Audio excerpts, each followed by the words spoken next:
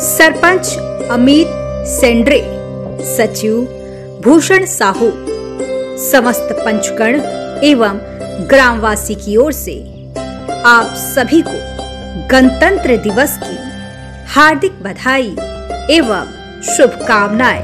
विनीत ग्राम पंचायत गोरखपुर, जनपद पंचायत लोरमी, जिला मुंगेली, छत्तीसगढ़।